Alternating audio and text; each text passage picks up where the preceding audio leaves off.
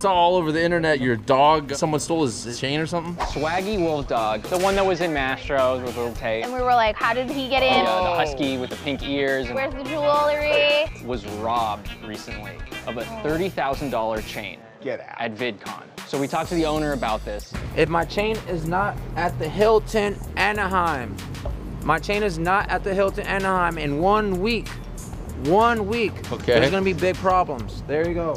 I want to return to the Hilton in Anaheim immediately. Why?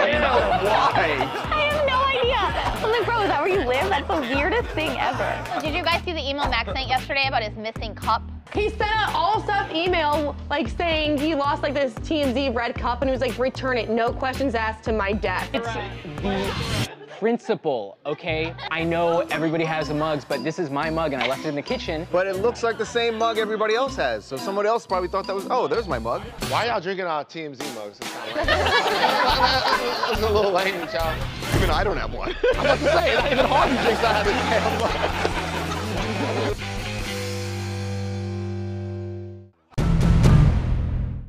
We're TMZ. If you like our vibe, subscribe. We'll send you more.